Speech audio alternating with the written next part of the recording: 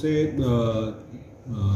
जो C P M माओवादी संगठन के खिलाफ, नक्सलवाद के खिलाफ झारखंड पुलिस और सी आर पी एफ़ के लिए आज एक बहुत बड़ी सफलता का दिन रहा है।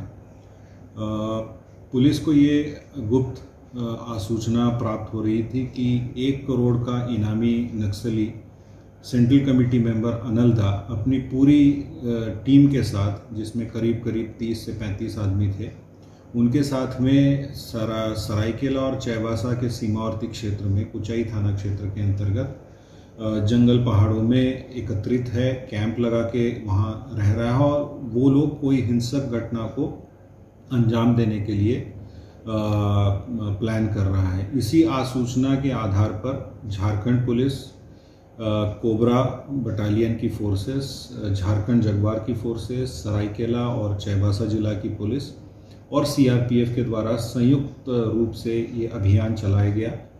और इस अभियान के क्रम में आज प्रातः जो है, जैसे ही संयुक्त बले, बल जो है वो बारूदा और लोटापुर के आसपास में अभियान क्षेत्र में निकली हुई थी, सर्च अभियान में निकली हुई थी सुरक्षा बलों को लक्षित करके माओवादियों के द्वारा अंधाधुंध फायरिंग शुरू की गई।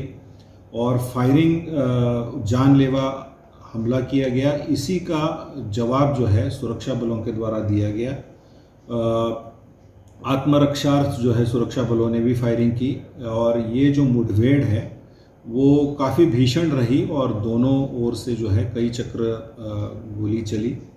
करीब एक घंटे तक रुक रुक कर मुठभेड़ होती रही और मुठभेड़ ख़त्म होने के पश्चात सुरक्षा बलों ने पूरी प्रिकॉशंस लेते हुए जब एरिया को सर्च किया तो उस एरिया में माओवादियों का एक बड़ा कैंप आया जिसको पुलिस के द्वारा बलों के द्वारा ध्वस्त किया गया।